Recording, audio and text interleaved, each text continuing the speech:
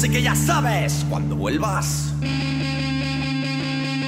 Dainos Choco, Choco de Melilla. Dainos